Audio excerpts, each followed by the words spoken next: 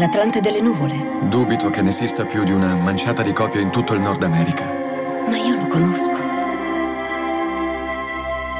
Lo conosco, lo conosco.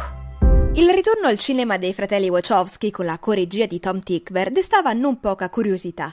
Primo perché Cloud Atlas è stato avvolto dal mistero per lungo tempo, e poi per l'effettiva peculiarità di un progetto che, una volta svelato, è apparso più che mai ambizioso. Non riesco a spiegarlo, ma sapevo quando ho aperto quella porta. Un potente déjà vu mi ha percorso le ossa.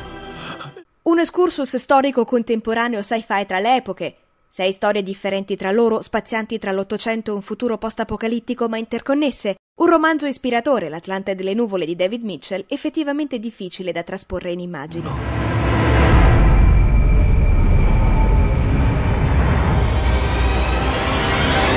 Stordisce già dalle prime sequenze la varietà e l'eterogeneità di ambientazioni che compongono un collage eterogeneo e proprio per questo tanto più spiazzante. Oggi va verso un'altra. Pensa mai che l'universo sia contro di lei? Come una partitura, le diverse storie del film sono assemblate in modo da evitare dissonanze, malgrado la loro continua, quasi frenetica alternanza. Nostra vita. Queste forze cominciano molto prima che nasciamo e continuano dopo la nostra fine.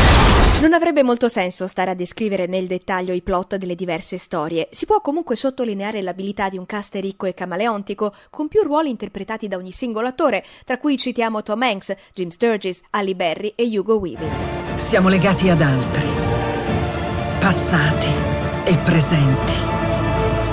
E da ogni crimine e ogni gentilezza generiamo il nostro futuro. Le tre ore di questa insolita, frenetica e ammaliante partitura tra le epoche catturano e intrattengono con stile. La freschezza e l'originalità dello sguardo, insoliti in una produzione di tali dimensioni, rappresentano poi un ulteriore importante elemento di interesse. E io ti attenderò lì.